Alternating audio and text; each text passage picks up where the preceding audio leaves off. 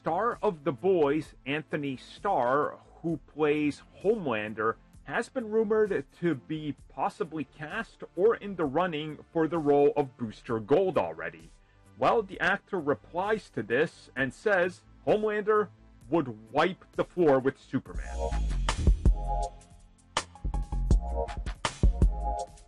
Remember when What If Superman Was Bad was an original concept? And then it's been run into the ground? Yeah, that's what happens these days. Not that The Boys is bad, it's still one of the best things on TV. I absolutely love it, but you guys get what I'm saying. It's been done a lot, even by DC, so it's kind of been run into the ground. But ever since Antony Starr made a big splash with not just The Boys, but other things he's been in, there's been a lot of discussion in regards to when is he joining one of the big two, Marvel or DC. Well, we'll see if he ever joins Marvel. Maybe there's a role for him, maybe there isn't.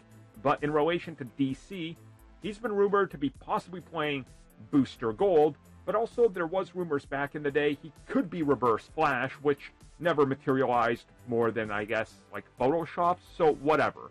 But recently, speaking with Comic Book, he was asked about the rumor, and he said he is super excited to see where the DC universe goes. Because there's phenomenal producers, talented writers, directors, and so many people there that are working to cook up something tremendous. And he says, if it comes to him and they offer him something, well, we'll see. But he says, right now, he's Homelander, and that's what he's interested in, and that's what he wants to continue to do. And then, when asked about what would happen if he ever joined the universe, he kind of just pivots and says, well, I mean, Homelander would absolutely destroy Superman. Like, dead set on it. He says, doesn't even need kryptonite. It's just all about Homelander. He would wipe the floor with Superman.